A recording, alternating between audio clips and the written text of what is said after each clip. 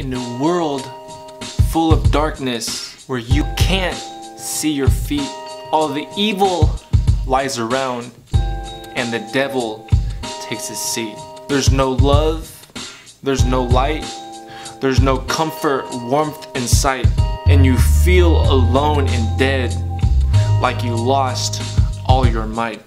It's at moments like these where the smallest shine can gleam. From the smallest lit candle floods the room like a dream. And the warmth like a sun from a person only one fills the heart of countless lives way more strong than a gun. One little candle flicks and all the world can follow from the darkness to the light to the joy away from sorrow while the devil tries to grab little candles fight it back. Lights the world until it shines. Who would have believed that? From around the world we see a little candle set us free.